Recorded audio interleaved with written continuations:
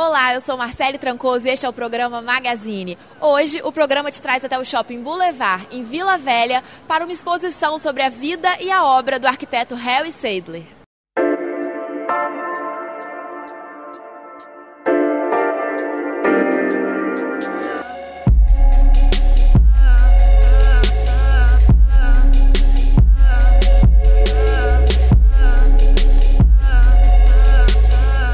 Curadoria de Vladimir Belo Golovski e co-curadoria de Wilson Barbosa Neto, a mostra reúne originais, muitos deles realizados à época dos projetos, como modelos arquitetônicos, desenhos e esboços, além de maquetes de esculturas, fotografias, filmes e documentos pessoais de Seidler.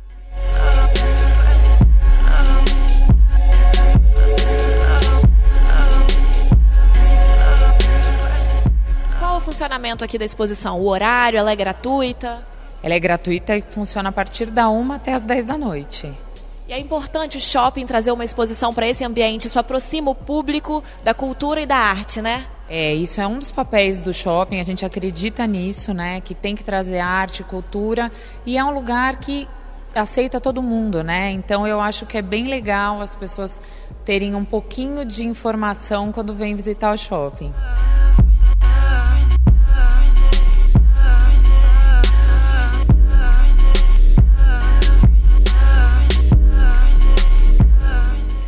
Arquitetura, Arte e Design Colaborativo é uma mostra itinerante em comemoração aos 90 anos de Seidley e já passou por Bulgária, Canadá, Estônia e Estados Unidos.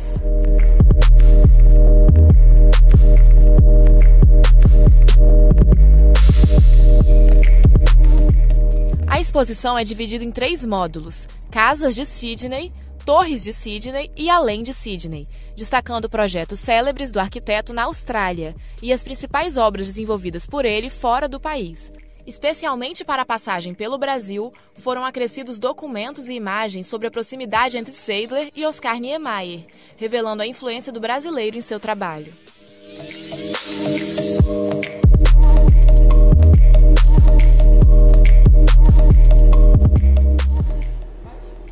Matheus, o que você achou de uma exposição como essa no espaço de um shopping?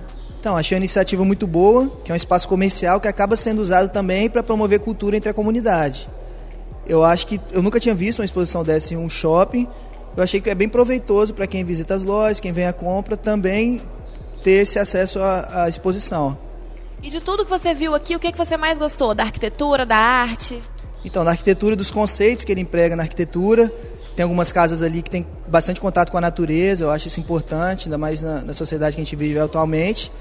Eu, eu, gostei bastante da exposição. Não conhecia ainda o, o autor, né, mas gostei bastante.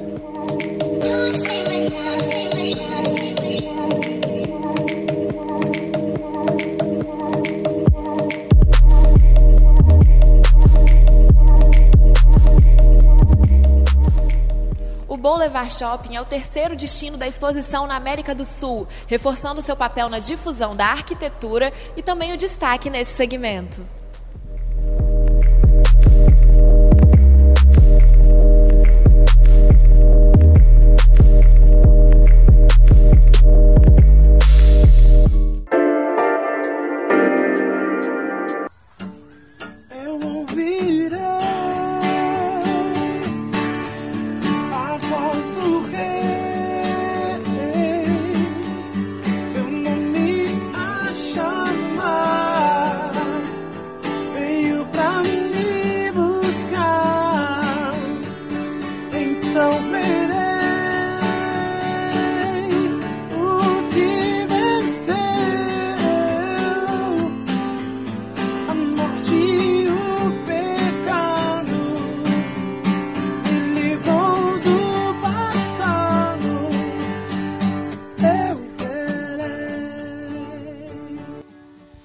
Partir de agora, você conhece com o Magazine a banda de pop rock gospel capixaba Hora Nona. Tudo bem, meninos?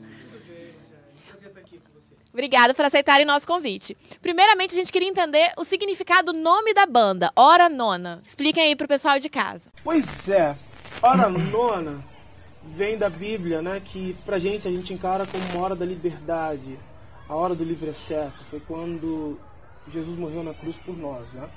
E o céu do templo, o véu do templo foi rasgado baixo e a gente teve a liberdade. Então a gente encara com essa uma hora da liberdade, uma hora do reconcílio, sabe? Onde todos os nossos pecados foram perdoados.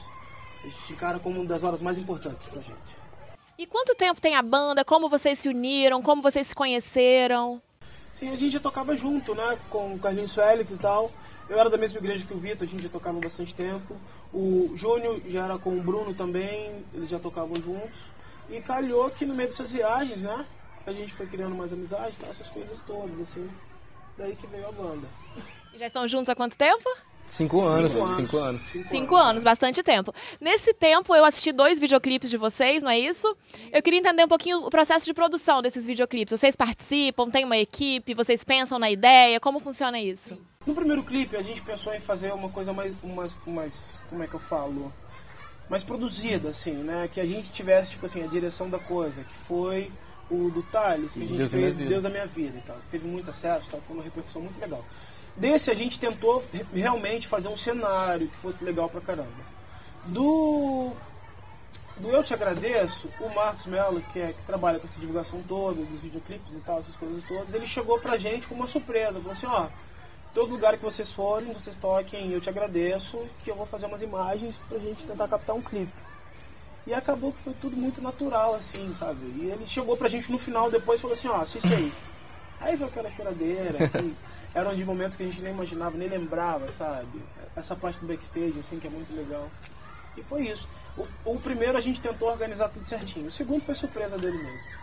Legal. E esses videoclipes vocês vão conferir no final da edição de hoje do Magazine. E agora vocês estão lançando, né, um EP com cinco músicas. Como é que, o que, que a gente vai encontrar nesse EP? Pois é, Marcelo. Ah, o EP a gente tentou trazer, a gente tentou fazer a- a- a- essa migração do que a gente está vivendo. Porque o CD, ele, pra gente, ele já soa um pouco antigo, que a gente gravou em 2011, né? Então a gente tenta migrar para mostrar, tipo assim, o que a gente fez e o que a gente tá para fazer. Então a gente pegou três músicas do.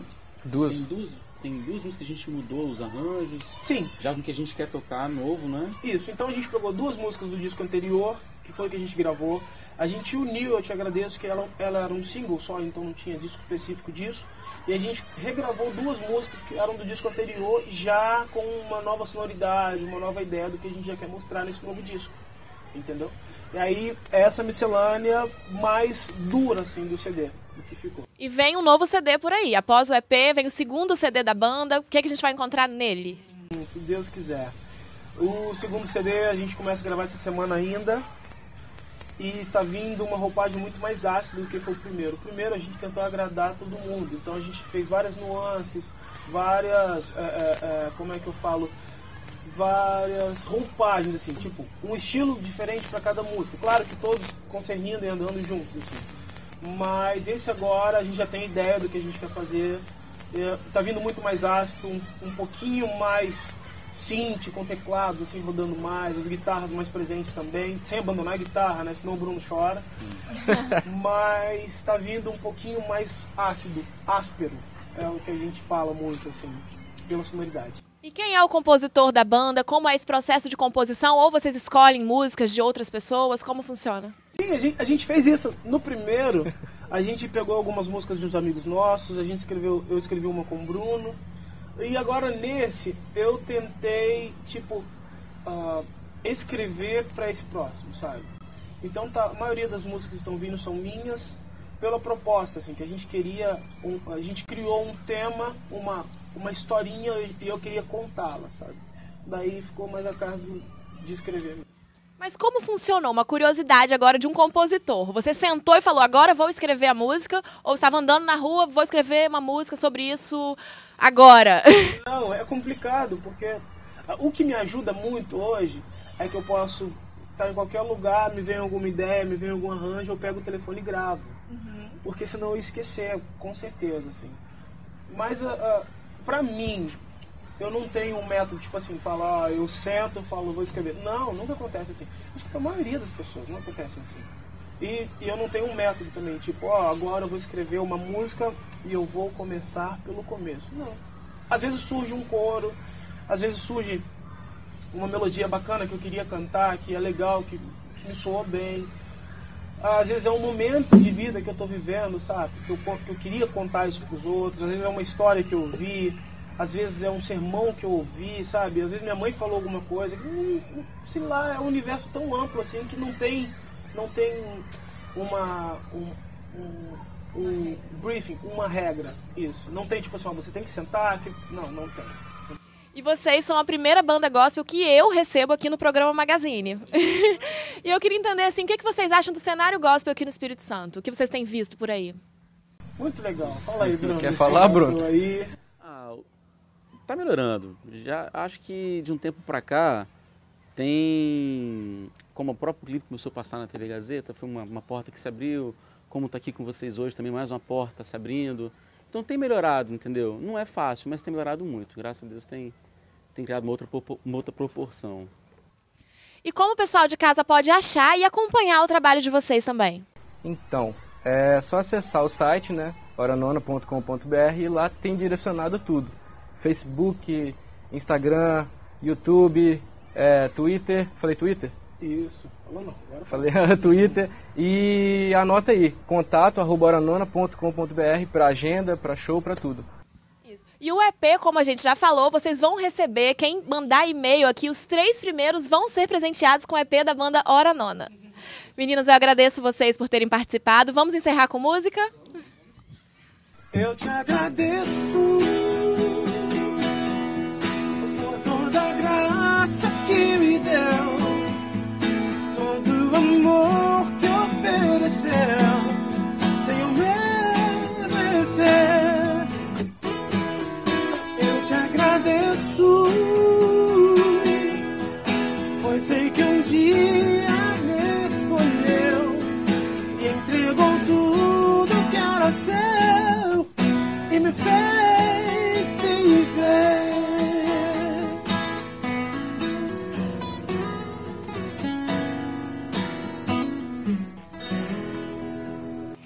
aí, agora vamos para um rápido intervalo comercial, mas não saia daí que no próximo bloco tem agenda cultural do Magazine.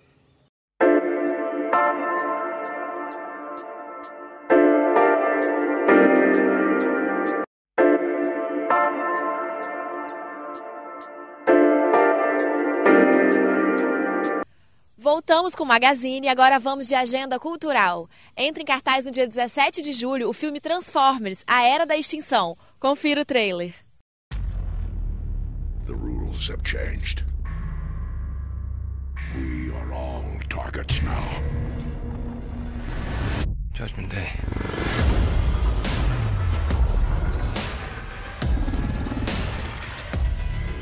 How many more of my kind must be sacrificed? Gotta have faith, Prime, in who we can be. Good move, B!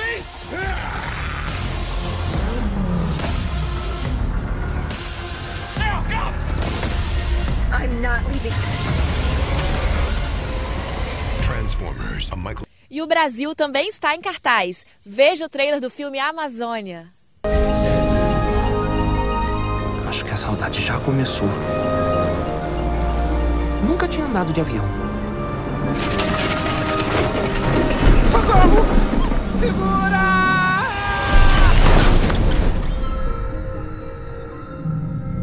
Caramba! O avião caiu. O que, que eu faço agora? Para um bichinho criado dentro de um apartamento, conhecer sua verdadeira casa vai ser uma grande aventura. Uau! Parece um mini rinoceronte. E ele voa.